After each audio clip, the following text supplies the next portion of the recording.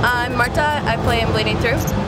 I was never really a meat lover anyways. I just, as like a child, I never, I always hated red meat. I always hated eating it. It always grossed me out. So for me, it was, it just felt natural to like not be eating meat and eventually like, um, the older I got, the more comfortable I was with telling my parents like I, I don't really want to eat that. I was trying to be healthy and it didn't feel healthy and I didn't like the thought of it. Eating a like a body part to me just never felt right. Eventually that just kind of like built itself up in my mind and I just just stopped completely.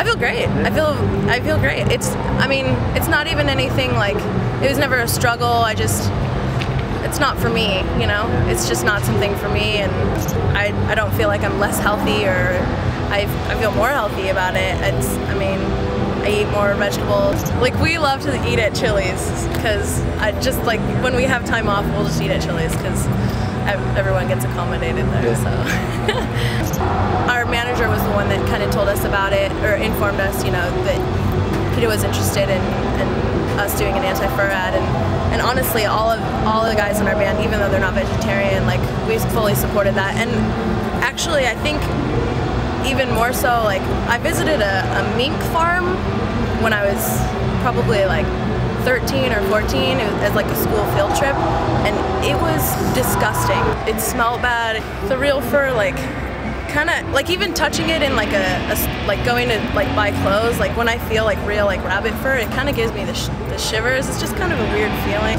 Becoming vegetarian is not difficult. It really is not. And not buying real fur is not difficult. That's there's I mean if you really want to wear fur there's fake fur. So it's not that's not something difficult to do. And as far as becoming vegetarian there's so many options mean, really, if you just think about it enough, you, I, I couldn't not be vegetarian just because of kind of the truth of it all. So